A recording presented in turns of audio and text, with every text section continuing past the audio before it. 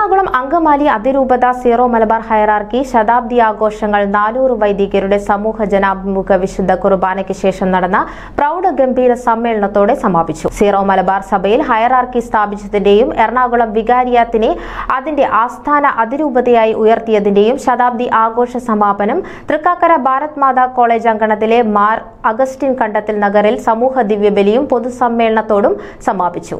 സഭയുടെ ചരിത്രത്തിൽ തന്നെ ആദ്യമായി ഇത്രയും വൈദികർ ഒന്നിച്ചർപ്പിക്കുന്ന ജനാഭിമുഖ വിശുദ്ധ കുർബാനയ്ക്ക് വിശ്വാസ സമൂഹം സാക്ഷിയായി.